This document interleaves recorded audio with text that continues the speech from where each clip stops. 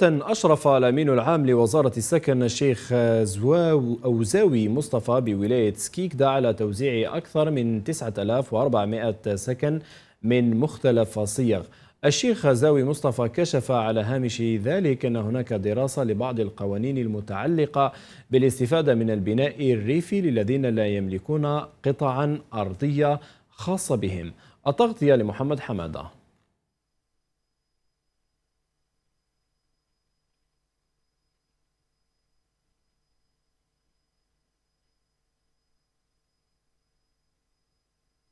بلغ حوالي 9500 سكن بمختلف الصيغ بعد حصة العاصمة لأكثر من 15000 حصة سكنية.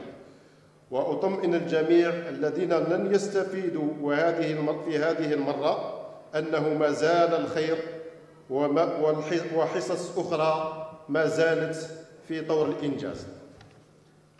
للإشارة تم توزيع 150 ألف سكن وطنيا وهو رقم هام ومعتبر يساعد على تقليص على التقليص من أزمة السكن. في عهد الجزائر الجديدة بقيادة السيد رئيس الجمهورية السيد عبد المجيد تبون.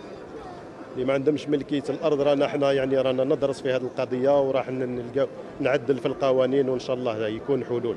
في المستقبل إن شاء الله. الحمد لله بعد التعب والمعاناه والكرا راك عارف ومنا والحمد لله وقفت معنا الوالد هذا وقفة وقفة يعني صحيحة بارك الله فيها. والله الحمد لله الحمد لله الحمد لله فرحة ستو كتشوف الاولاد كيما هاك فرحانين هذه الدنيا ما فيها تولي دارهم يسكنوا فيها خير من الكرا وخير من التمرميد اللي كنا نتمرمد.